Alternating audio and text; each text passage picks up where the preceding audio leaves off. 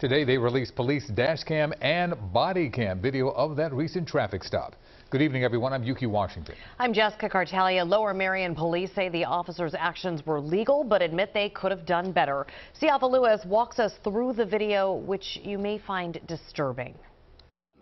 Lower Merion Township Police held a press conference Tuesday to reveal the findings of their use of force investigation in the January 8th traffic stop, which resulted in an officer using a taser on an unarmed female driver. As noted, we could have performed better, and we should have.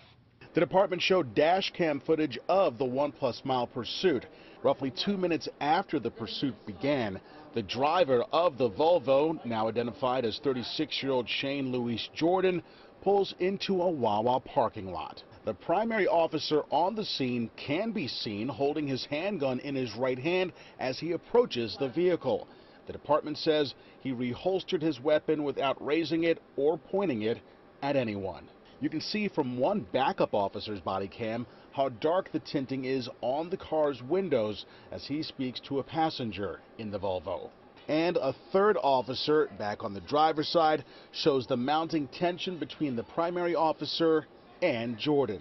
The officer tells Jordan she's under arrest and to get out of the car. Jordan repeats that she wants to wait for the officer's sergeant. The officer warns her that he'll tase her.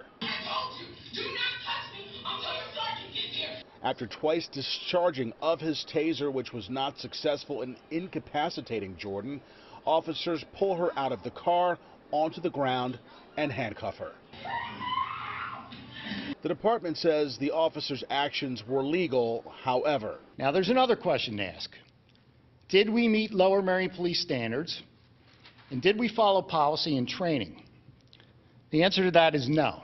We uh, want to make it clear and to be transparent is we can sometimes fail. Our officers are human. The officer who fired his taser is on desk duty while the investigative process continues. The driver, Shane Jordan, faces multiple charges, including resisting arrest and following too closely. Siafa Lewis, CBS, Philadelphia.